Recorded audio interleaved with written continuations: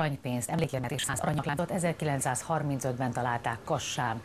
Az értéktárgyakat a 17. század végén a tököli felkelés idején rejtették el a Szepesi Kamara épületének falában. A lelet legértékesebb darabja első Ferdinánd aranyérme.